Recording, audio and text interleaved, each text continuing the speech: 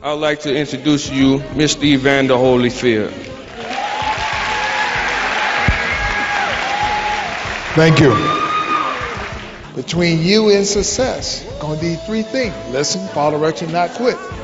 Because it's your choice. Then by the time I hit 19, I became ranked number one in the United States.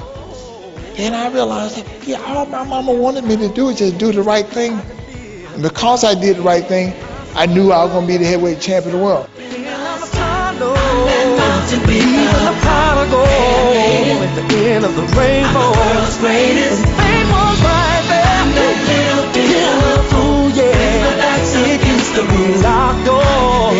Now I can just walk. I'm the world's greatest.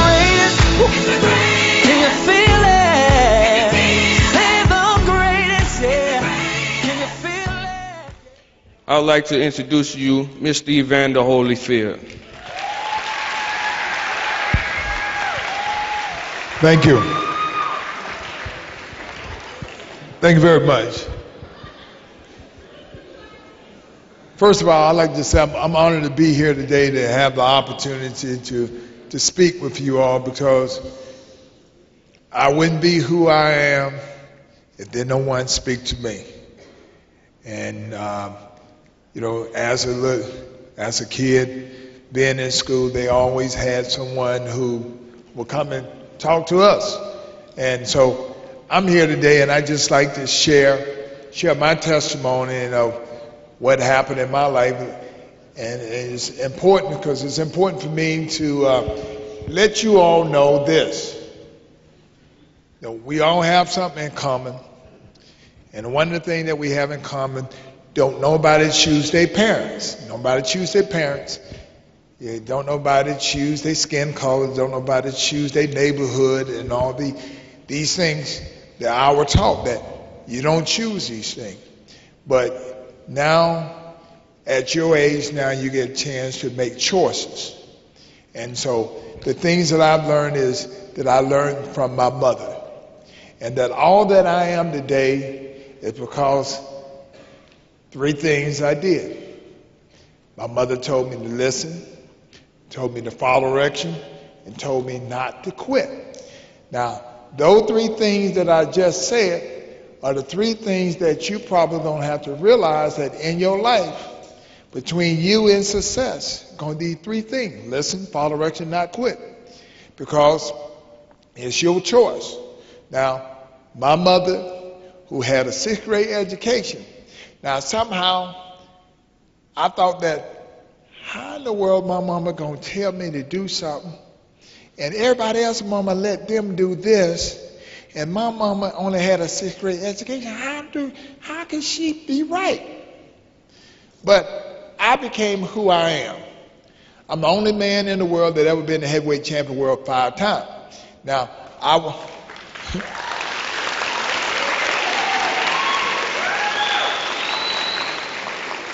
let me tell you something now I wasn't a big guy as a kid. And everybody used to mess with me because I was small. And I was always upset, wondering why, why I couldn't be bigger than my brothers and sisters. And you know, my first goal was to, to, I used to pray and I asked, ask God, let me be, let me be better than my brothers and sisters. Because they could beat me in everything. They beat me in running. They, they were stronger, and they, they everything they did was better than me. But nobody never tell me because they were older than me. But you, my mama never did tell me that. So I just like to share, you know, the faith that I had and believe in my mama. Because it's kind of it's something because, you know, your success going to hang on your parents. The ones that you probably think that don't know nothing because they too old. Because you know, but you got to understand that. Now I'm 48 years old, and but I never never looked at that what age really mattered because the fact of the matter because my mama used to tell me. So my mama said, "I did it already. You don't have to do it too, just to realize that it's wrong, that it's gonna hurt you." So my mama, who raised me to be who I am told me that she didn't control her lips. My mama said, whatever she felt, she said it. And she said, that's the reason why she wasn't successful. But you know what? She told me, said, you're not going to be that way. Because you're not going to say anything that you want to say.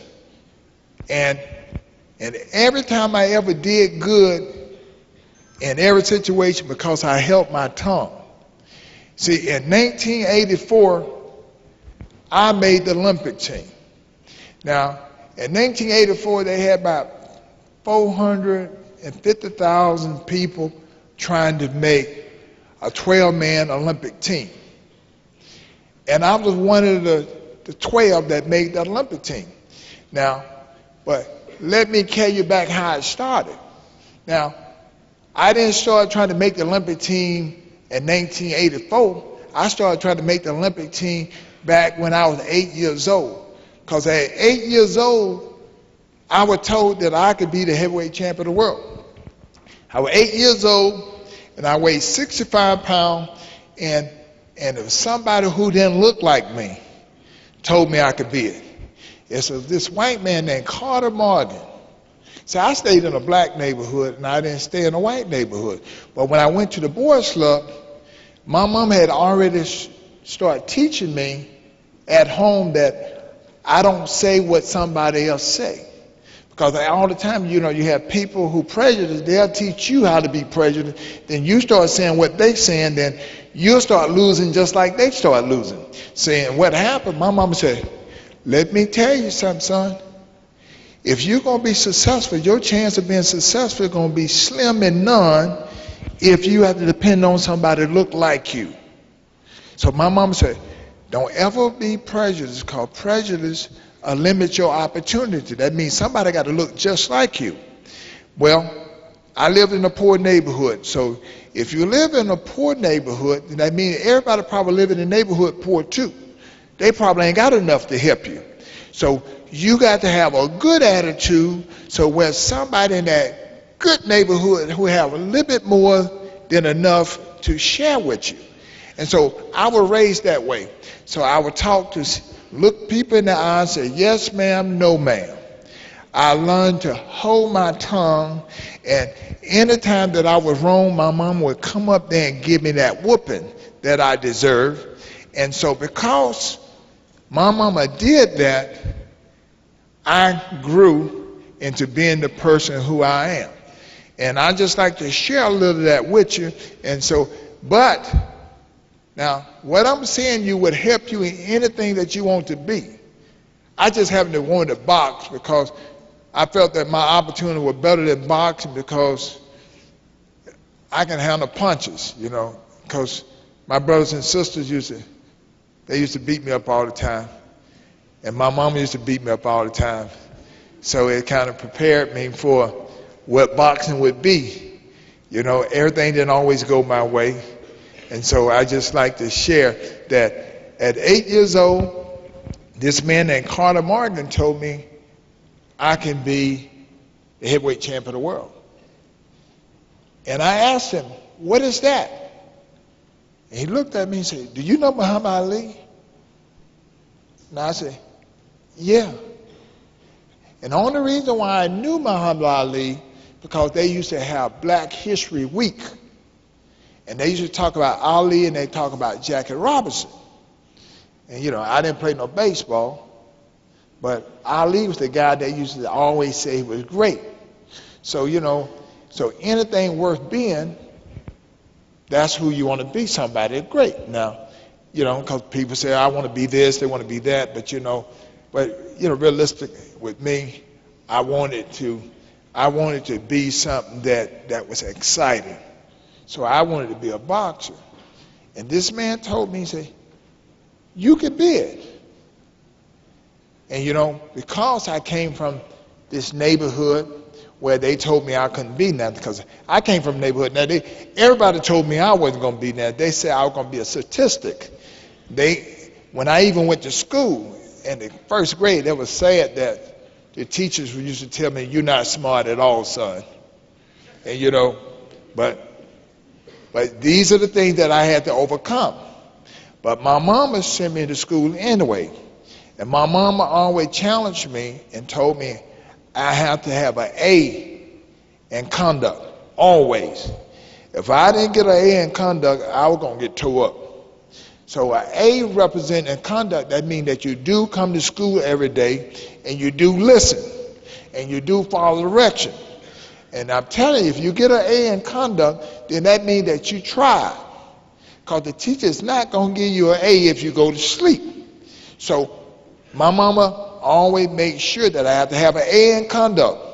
Because if I didn't have an A in conduct, then that means that I didn't represent the family well. So I couldn't come with a B. Now, you know, you, you know, I just see, you know, it ain't gonna be that because I got all A's in conduct. That means that I listened, I followed direction, and I didn't quit. And my mother told me, said, because when a person got a good attitude, they are the one that succeed. Now, it, it didn't sound good because all my friend didn't listen.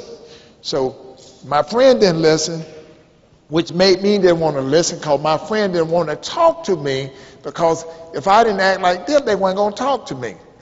But, but my friend knew that if I talked to them, when the teacher called my mama, my mama would come up and whoop me right in front of the class.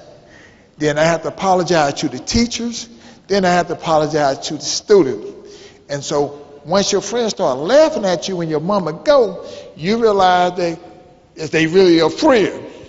And so this is what happened to me, but but this is how my career started.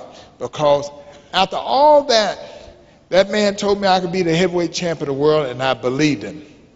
And all that, then I told him I weighed 65 pounds. He said, You ain't always weigh 65 pounds. So here I am today, standing here today, and and I challenge and I ask you, what do you really want to do? Because if you really want to be something, you have to start thinking about it now. See, it took me 20 years to become what I wanted to be. Now, I wanted to be the heavyweight champion of the world because he said I could. But in the point of becoming heavyweight champion of the world, it, it wasn't easy. Because my first fight, let me tell you about the first fight. I was eight years old, and I put these gloves on. These gloves reached all the way to my elbows. That's how small I was. I didn't have no shoes on and all this. And my coach told me this instruction he gave me. He said, he said, son, you see that guy over there? I said, yes, sir. He said, when the bell ring, I want you to run out there as fast as you can and hit him in the nose. He said, Did you hear me? I said, Yes, sir. And I looked over there at the kid, and his coach told him to do the same thing. Now, we both heard what the coach said. Now, who to do it? But I kind of had an advantage because my mama already told me she going to bust me up if I don't do what the coach tell me to do. So, so just as I get I get bust up and I don't do what the coach tell me to do. If my teacher tell me to do something, if I don't do what my teacher said, I get bust up too. So I already know that I know the plan already in life that is, is my mama send me somewhere, so she send me to the place where the instruction. If I don't do what they tell me to do, I'm gonna get bust up. So I get three whippings a I get three whippings a day anyway because somewhere I miss it, somewhere I forget. But in this fight, I knew what the direction was. When the, the bell rung ding, I ran out as fast as I can, and the glove was heavy, and I swung, and this guy closed his eyes. I didn't close mine. I hit him right in the nose. Boom. He started crying. He said, Oh God. And and the referee jumped in and stopped the fight. And my coach was so happy, he run in the ring and he tell me something like this. You took your first step of being the heavyweight champion of the world. And I was so happy he gave me this trophy. That same trophy I have today is sitting right there in, in, the, in my cabinet. So when my kids, my kids look and say, Dad, where you get that trophy? I said, Yeah, I was eight years old. I lived. I was eight once. Because it's amazing. If you don't explain to the kids, the kids think that you've never been a kid. So I always had to explain to my kids. I had to go through this. But yeah, and fast forward, you know what? I won by three matches, then I turned 11. There was something good about being eight, because couldn't nobody beat me at eight. You know what? Did nobody beat me at nine? Did nobody beat me at 10? But when I turned 11 years old, I had to fight this kid named Cecil Collins. And Cecil Collins was a little different. Because, you know, it's amazing how sometimes we think that everybody the same just because they because they skin color. It's a little different because my brothers and my friends them told me that you know black uh, white boys couldn't fight. Say they smart but they can't fight. And you know at 11 years old I believed that because every time I hit one of them they said, "Oh God." And so I fight this guy named Cecil Collins, and my coach, who white, told me hit him right in the nose. I hit him in the nose, and he hit me back. And we battled, and the bell rung, and I come back, and my coach said, What's wrong? I said, He hit me back. And my coach said, Welcome to boxing. So, what I'm saying, in life, it ain't gonna always go your way. So, I go out there second round, I come back, my stomach hurt because he hit me in my stomach. And I, it wasn't going the way that my brother them said. Because my brother said, white boys can't fight. But somehow, he is white, but he uh, hit me in my stomach. And my coach said, you got to fight harder. I go back out the third round and I fight. Then when they raised their hand, they raised his hand. And I just start crying. And because I didn't win. I thought that if things don't go your way and you lose, that you can you can win. I thought that I couldn't be the heavyweight champ of the world because I lost. You know what? I told him I quit. Saying this would happen in life when you take a test, you're not prepared for the test, then all of a sudden you don't pass the test, and you don't think you'll ever be good. Only thing I'm trying to get you to see that in life everything is not going to always go your way. But if you quit, then you're going to have a bad life. But, but my mama wouldn't let me quit because I went and told my mama I lost and told I quit. And she almost had a fit. And she told me I didn't raise a quitter. And I was trying to figure out what she meant. so you got to go back. So I had to go back and I fought that guy again, and I was ready this time. You know what happened? He beat me again. I started crying again. And I'm trying to figure out, you know what? I don't want to box no more. Now, I don't like boxing no more. So I don't did it twice and I don't lost. And that's it. I don't want to do it no more. Then all of a sudden, but my mama said I had to go back again. So if my mama said I had to go back, I had to go back. So I got ready to fight again, and the guy name was Cecil Collins. So the most important thing is that I know his name, so I'm gonna make sure I don't fight next time because you know I got a five pound weight because whatever weight he in, I'm not gonna be in that weight because I don't want to go through. I want to go around. I can't beat him, but I can beat the rest of the people. So I didn't see Cecil Collins, so I got in my regular weight. And you know what happened? I ended up fighting Cecil Collins again. And but things was but things was so tough to the point I I ain't have confidence and I start crying in front of Cecil Collins because my friends them my friends that I took with me to the fight they found out Cecil Collins was white because they never fought and they they one that told me that white boys could couldn't fight and they when they seen Cecil Collins they said you Cecil Collins? And Cecil said, Yeah. You beat Holyfield? He said, Yeah. You gonna beat him again? And he said, Yeah. And all my friends, I said, you know, my friends were black, all three of them. You know what they said? I told you you were gonna lose. And I just started crying right then and there in front of Cecil Collins, in front of everybody. And they just, just said, I told you you're gonna lose, but I want to win so bad. So I, I just thought about what my grandmama do. My grandmama used to pray for me. My grandmama used to put her hand on my head and pray for me all the time because my grandmama said, my grandmama used to say, God, you're going to have to help him because his mama going to kill him if he don't change. Because that's how many whooping I used to get.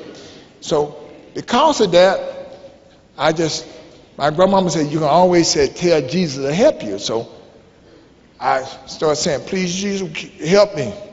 Because I know if Jesus can help me with my mama, I know he can help me with this little guy. He could, he could barely beat me, but he beat me. But I wanted to win. So I prayed. You know what? I went in that ring. I gave my all. Then, in giving my all, they raised my hand. And I jumped up and I was so excited and all this. And I, I go back and tell my mama, I said, Mama, you know the guy that beat me twice? I beat him. And my mama looked at me and said, Well, you don't have to fight anymore. I said, But I won. My mama said, Son, I just want you to understand this. In life, things are not going to always go your way. If you quit because things don't go your way, you'll be quitting the rest of your life. And I learned that at the age of 12 years old. And so I'm telling you this today because things are not going to always go your way. And it probably ain't went to all your way now. But if you quit, then you'll never reach your destination. So you know what? I lost nine more times after that. So I ended up losing 11 times. But you know how many times I won? I won 164 times. I made the team. And you know what? I'm the only guy in the world that ever been the heavyweight champion world five times.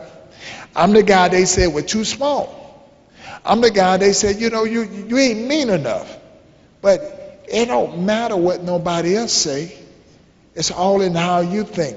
So I'm honored to have this opportunity to tell you that in this life, if you listen, follow direction, and not quit and stop hitting each other, and that, you know, things can work. Because you know what? In all that I learned, I realized that I wouldn't be who I am if I didn't have that mama that I have. I know, I know a lot of people think they know more than their mama, but your mama lived, or your daddy lived. Now, I don't talk about my dad because I didn't meet my dad until I was 21, but which showed that my mom did a good job. You know, I, I, I got more. I got my last whooping when I was 19. And so last whooping when I was 19, it kind of seemed funny when you, when you're 19, you're bigger than your mama and you and you letting her whoop you. But but I became who I am. And so all that you see that who I am today because I listened to what my mother said. Did my mama make a lot of mistakes? Yeah, she made a lot of mistakes, but she didn't tell me to make the mistakes. So only thing that I want to challenge you all to not to judge your parents and say, well, how are they going to tell me to do something that they do? Because they want you to be better. My mother wanted me to be better. Did I become better than my mother? Yes. Because my mother told me, do what I say, most than do what I did. That's what my mama said. And my mama, and I became all that I am because my mama wanted me to be better. And just the same thing as the, you think the teachers don't want you to be better? That's the reason why they tell you not to do anything. You don't just do what somebody else do when they want you to be better. And see, and that's that's me showing you that I came from a humble beginning, and because I learned to listen, learn to follow direction, learn not to quit, I understood that I didn't get a chance to go to the prom. I, I, I didn't get a chance, but you know, but I thought it was a big thing. My mama said no, but I, I'm who I am because my mother, my mother, my mother told me, you don't quit. You got to make some sacrifices. Because I made sacrifice, I became who I am. And all that is what you call respect, that you got to have respect for your teacher. Now, I became who I am. That's a lot of whoopings my teacher saved me from, you know. My, I, you know, my, I tell my teacher, you, you got to call my mama. That my mama gonna come up here. I, you know, tell her I didn't do nothing wrong. Because you know what? Friends, you know what I'm saying? The people that I thought my friend, but my mama come tear me up in front of the teachers. And my, I have to apologize to everybody. And the only thing that I'm trying to get you to see is three things. Listen, follow direction, don't quit. You know, you got to have a goal now. If you don't have a goal, then tell me where you're going if you don't have a goal. And that's the choices that we all we all have to, have to have a choice. I became who I am because it was a goal set before me and I didn't quit. And uh, any questions? Any questions? I'm to ask you. Go ahead. Excuse me? Struggle? Well, yeah, I struggle a lot of things because you know what? I came from a family that, you know, my mama didn't know how to read, so my mama didn't read to me and all this. So I, I did those slow classes. To my mama said, "You gonna learn how to read though." I learned how to read. I learned how to do all math. I learned how to do all these things, but but everything started by not quitting. No, so it wasn't just boxing in my life. My mama made sure that I wasn't gonna quit school and you gonna finish. My mama said you gonna get a 12th grade education, and that was everybody. You knew. My mama quit at sixth, sixth grade, but everybody had to get a 12th grade education. Now, all my kids got to finish college. That's it. Every generation got to get better. And so that's how it was. Any more, any, any more people? You. The question, how do it feel to be the heavyweight champion of the world? Okay, this last question. Okay, oh, last question, but I'm, I got you. But he said, how do it feel? And I'm gonna tell you, it's just, it's just real simple.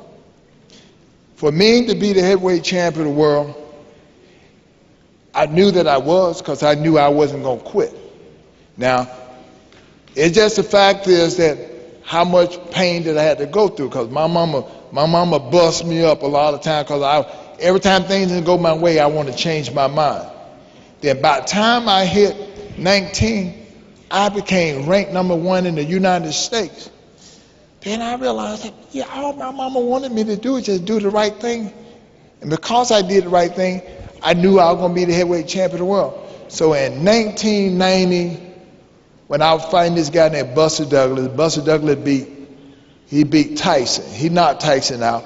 Because he knocked Tyson out, people told me he gonna knock me out. But I realized that the difference is, is that I had been boxing ever since I was eight years old. I realized ain't no way in the world that I'm gonna fight this fight and put 20 years in and get an F. Because in, in, boxing, you either get an A or F. You, you don't, ain't no in between, A or F. And I realized I worked too hard. I don't care what happened. When it all come up, if I fall out, I'm gonna fall out on him. he don't fall out on me. I'm gonna fall out on him. I'm gonna win this match. And so when I became there, I realized, well, you know, I was destined to be it because the fact is, I wasn't gonna quit. So only thing that I'm saying that if you have a goal, if you don't quit, you will get it. You may not get it as quick as you want, but you'll get it, and you'll feel just as happy when you get it. Thank you very much.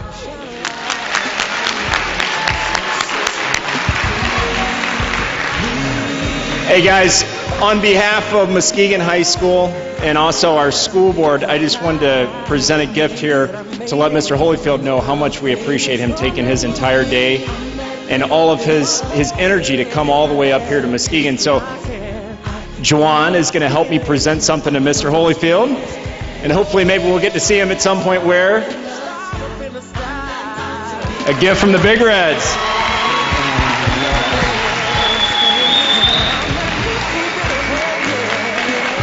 Thank you, Mr. Holyfield. We appreciate it. All right, guys, let's give him one more round of applause and let him know how much we appreciate him being here. Apollo, even the prodigal at the end of the rainbow. And fate was right there. Ooh, yeah. Against the locked doors. Now I can just walk. The world's greatest. It's the greatest. Can you feel it?